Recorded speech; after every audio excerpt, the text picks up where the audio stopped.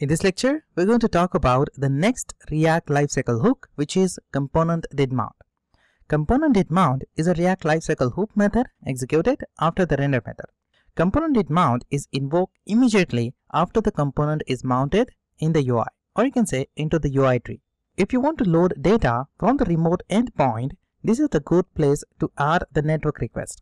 Let me show you how you can add this method inside your component. So I'm going to just use my previous example to add this method to complete this mounted phase of the component. So as you know, when the component is mounted, it will first call the constructor, then call this get derived state from props method, and then call this render method. Now after this render method, React call component did mount method, or you can say component did mount hook. So let me just call here this hook call component did mount.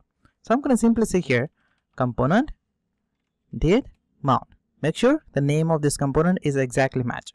Here I'm going to call parenthesis and pass curly braces here. So what I'm going to do is inside this hook, I'm going to simply call this console.log message like this and just copy this method and specify that here. Let me reload my browser. As you can see, when the component is mounted in the UI, it will first call the constructor, then call get derived from props, then it will call the render method and at the end it will call component did mount. For now, let me just add a comment to this method because we are focusing on this component did mount method. So I'm going to just comment this method for now and inside this method, I'm going to simply change this state value.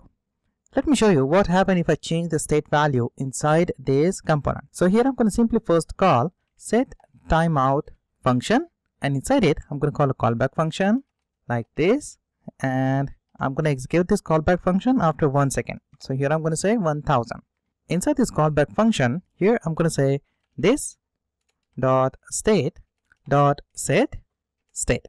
I'm going to call set state method and pass here curly braces. I'm going to change the value of this state property called favorite color. So I'm going to use that here like this and change it to yellow. Now let me just save this file and show you what happened if I change this property. As you can see after one second set timer will execute the callback function and change our state to yellow. Let me just increase this timing. Here I'm going to say 3 seconds. Reload my browser and after 3 seconds, as you can see, React will change my state to yellow. After 3 seconds, set timeout will execute my callback function and change my state and I'm going to have yellow inside my UI.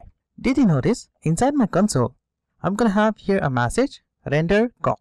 When you change the state of your React component, inside this component did mount method, after that render method will automatically call. Because whenever you change your property or state, React will recall this render method.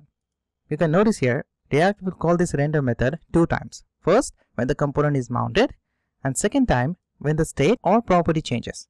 You can also notice here, once the state is changed, React will call the render method again. But after that, React will not call this component did mount because this method is executed or you can say invoke only once. Component did mount method executed after the first render only on the client side. This is where the AJAX request and the DOM or state update should occur. This method is also used for integration with other JavaScript frameworks and any function with delay execution such as set timeout or set interval. You can do all that things inside this component did mount method. Whenever you change your state or property, React will call render method again, but it will not call this component did mount method. Now how many times the component did mount is called? By default, the React component will only call component did mount once. The only way it will get run again is if you delete the component or change the key props value. When the component is mounted, it will first call the constructor, then call this get derived state from props hook, then it will call the render method and then at the end it will call this component did mount method. Now let me just uncomment this method and specify this property to this state. But I'm going to just change the state after 3 seconds. You can notice here. So I'm going to just specify this property here just like this. Back to my browser and reload it. Oops. I just misspelled here this keyword. Let me just reload the browser. After 3 seconds, you can notice I'm going to get different lifecycle methods. It will first call the constructor, then call get derived state from props method, and then call the render method. After that, you know that I'm going to get component did mount method. But inside this method, as you know, I'm going to just change this state value using property. When you will change your state using property, it will call this get derived state from props method. So React will call this method again and as you can see here, we have read value inside your property as well as inside my state. And at the end, it will call this render method to render the component. Because as you know, whenever the state or property changes, React will always call the render method. Now I hope you understand the mounted phase of React Component API. Next, we'll talk about the update phase of React Lifecycle Hook.